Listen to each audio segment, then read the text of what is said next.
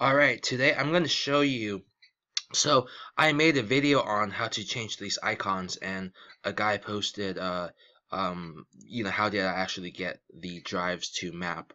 And if you're watching this video I'll include a link at the end of this video to to the one that I'm referring to about customizing the drive icons. Um so as you, as you can see here I have the network locations to my Google Drive and my Amazon um, S3 AWS S3 uh, cloud. Um, so there's multiple ways of achieving um, this. I'm going to go through uh, each of the ways. So if you already have Google Drive, okay, so here's a disclaimer before you continue watching on. Um, the first method is a free method, um, and the second two methods you you gotta buy like a software for it.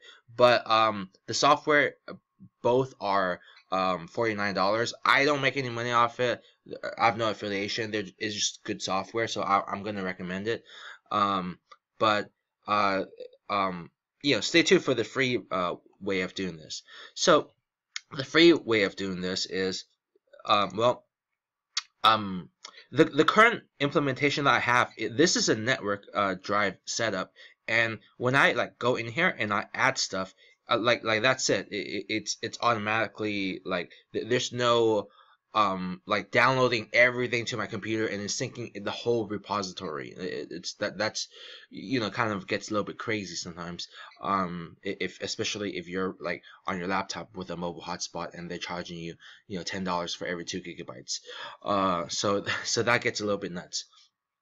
Um, so the the method I have is it, it connects directly um to uh, my my um, cloud uh, I guess drives or um, uh, repositories, if you will. So um, the first way I'm going to uh, show you is if you already have like the Google Drive installed and you just want to make that like assign that a drive letter, uh, I'll show you how to how to do that, and that's free.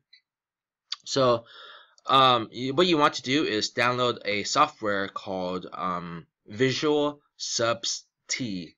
I assume that stands for visual substitute, but I could be wrong.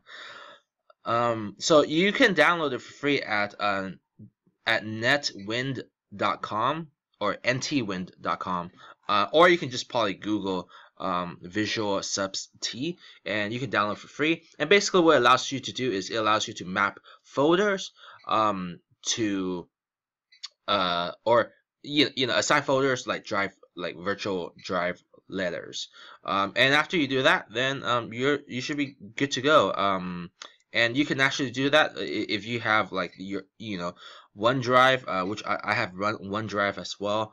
I have Google Drive and Amazon. So um, with the Amazon S3 you, you, you can't really like do like do the same because because it doesn't really exactly work the same as like Google Drive, OneDrive, and like Dropbox. But if you have uh, like any of the other ones, you can like totally like do that and assign those drive letters. Now, if you don't want um to it to like sync up to your computer, um like so so for example for me I have like um I, I have um you know everything on my on my Google Drive is already synced to uh, multiple com computers, so I don't need it to sync again to my laptop, um, especially since I'm running through mobile bandwidth um, through one of those dedicated uh, you know wireless internet hotspots. Um, so the method that I, that I uh, use is um, so there's two pieces of software. If you're it, if you are willing to fork out the forty nine dollars, I mean, once I explain it, I mean, if you um are not a student, if you actually have like a paying job, I, I think it, it's totally worth it. Like you should get it. Um, but uh, again, I don't get paid for uh, for this. So there's two main companies, and I'll explain the, the, the difference between the two. There's NetDrive. Their website looks like it, it, it could be better. Um, there's ExpanDrive. Um, it, their website looks a little bit bland, but they want you to just download immediately. So um, so both of these programs, it's it's the same price, uh, pretty much the functionality is the same. But what I've noticed, I, I I've uninstalled NetDrive, um, and um, and, and now I'm I'm running ExpanDrive, and the reason is because uh, it seems on NetDrive, um, it it, it, it, tries to to uh, it's not reliable. Um, from what I, and also from uh, what I was reading, um, because I used it for like like like a, a, a few hours doing um, transfer a bunch of like PSDs and stuff like that.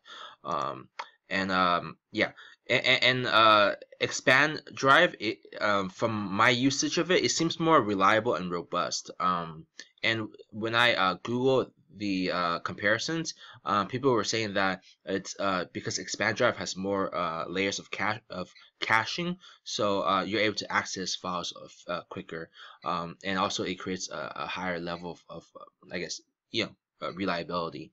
So that said, I'm just going to show you um, since I've uninstalled uh, NetDrive already, uh, I have um, ExpanDrive here.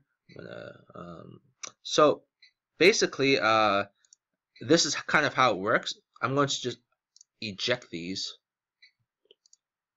And once I've ejected them, as you can see, it's just my C drive, my D drive, solid solid state drive, HDD, um, SD, uh, and I'm going to now um, enable these. And, and and basically you can set it so that way once your computer turns on it'll automatically like mount these. Um, so once that's mounted here you go. Um, it, it's pretty pretty straightforward and it doesn't auto assign the letter uh, or the drive letters which is nice. Um, uh, so you can kind of like permanently map like an icon to that specific drive so I got the S for the S3 and G for uh, Google Drive. Um, and let me show you all the different integrations. So it supports the Amazon Cloud Drive, um, you, you know, uh, Dropbox, the Google Cloud Storage, Box.com, OneDrive. Um, you can even like uh, if you have a, a Linux server, you can even like add a um, uh, SSH via SFTP connection or just an FTP connection. You can mount that. Uh, Amazon S3, as, as uh, you can see here um, I guess some of these, which I'm not as familiar with, um, and WebDAV. So yeah, it, it's pretty much, uh, I mean, covers for the most part, I think, you know, all, all of the popular ones. Um, and uh, yeah, it, it's very robust. It's it's very reliable. I mean, after you install it, uh, right now, um, this uh, my version is gonna expire in, in I think like like a day or two. Uh, let, let's see. So uh, to access the pricing page, um, that's one of the things that uh, on ExpanDrive is, is actually not wasn't as straightforward. Oh, maybe it, it was as straightforward. Okay, cool. Store. Um, so here's the pricing page. Um, it'll be easier if they just call it the pricing actually. Uh, but um, yeah, it, it's pretty pretty affordable. Um, I, I would say.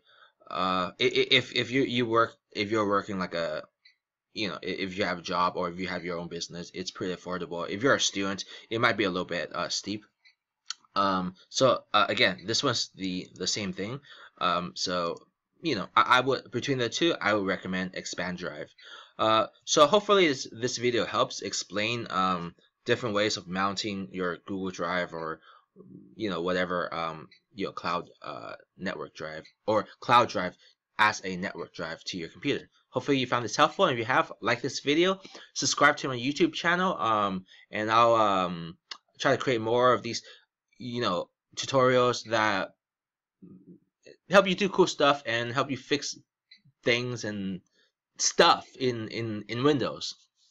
And uh, if you have any um, alternative methods, you know, even free ones, especially, feel free to post in the comments below. I'm sure it'll help out. Um, you know, uh, I'm sure it'll help people out. Um, the fact that, that they don't have to fork out money for something. Um, other than that, um, thank you for watching and uh, thank you for subscribing.